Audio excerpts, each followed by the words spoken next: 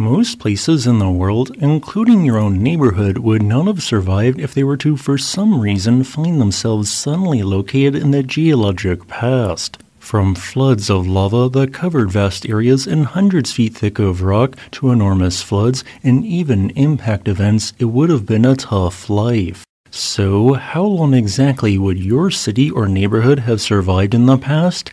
This is what today's video will cover, albeit taking into account a few factors. For one, damaging earthquakes will not be factored in, nor tsunamis generated from said earthquakes.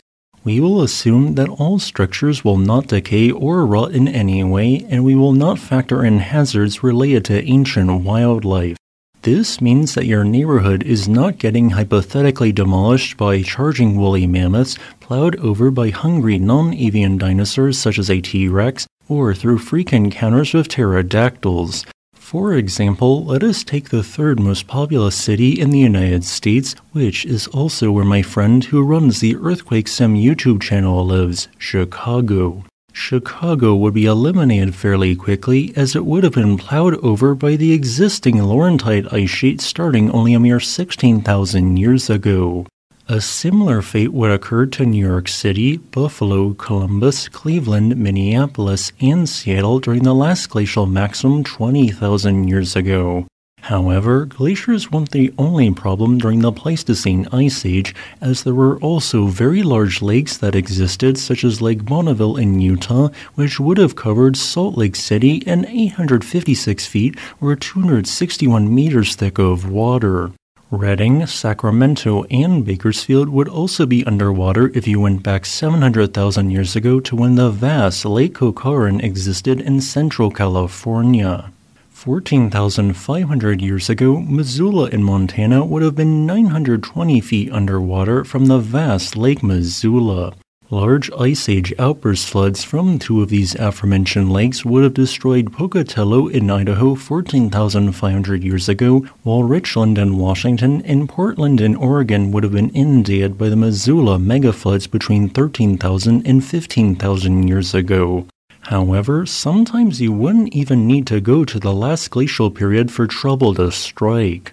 For example, California's modern city of Corcoran would have been underwater in 1800, being covered by 18 feet thick of water from Tulare Lake. Or the northeast portion of Arizona's town of Doney Park would have seen every structure collapse due to receiving heavy ashfall from Sunset Crater's destructive eruption in the year 1085.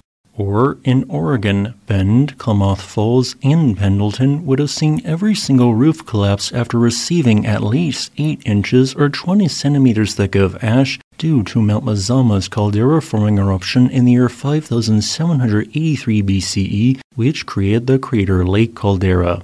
On the topic of volcanoes, there are three big eruptions which would have removed multiple large cities from this list.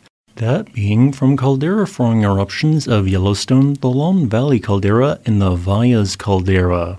Yellowstone's last VEI 8 explosive eruption 631,300 years ago would have led to roofs collapsing in multiple states, including in the cities of Denver and Colorado Springs. The Long Valley caldera's eruption 764,800 years ago would have done the same to Los Angeles and Las Vegas, while the Valles caldera's eruption 1.223 million years ago would have caused widespread damage to Albuquerque. In the context of global sea levels, you might be surprised to learn that sea levels have been largely much higher during the last 100 million years than they are today. Thus, multiple major cities would be inundated by a 49 foot sea level rise 398,000 years ago and a 125 foot rise 10 million years ago.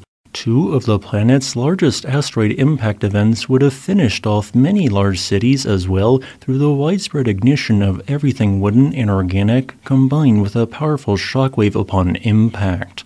Of the 50 largest cities by population in the United States, here is when and what fate each of them would experience in the geologic past.